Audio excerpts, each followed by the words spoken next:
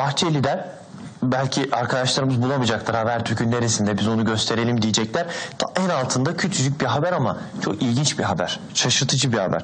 Beşinci parti çıkabilir diyor. Bahçeli koalisyon sorusuna mecliste beşinci parti olabilir dedi. AK Parti'de bölünme bekliyor.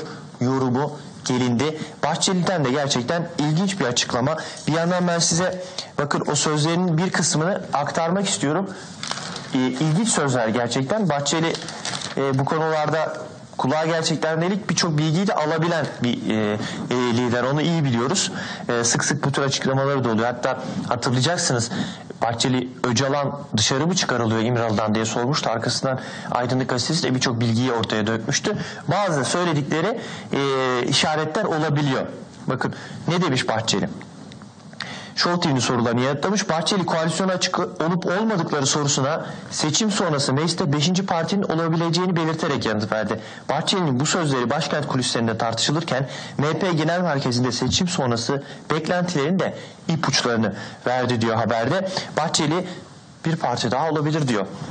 Bir parti mi girebilir meclise yoksa hükümet AKP daha doğrusu AKP bölünebilir mi? E, böyle de bir beklenti herhalde önümüzdeki süreçte var. Bakalım onları da e, göreceğiz diyelim.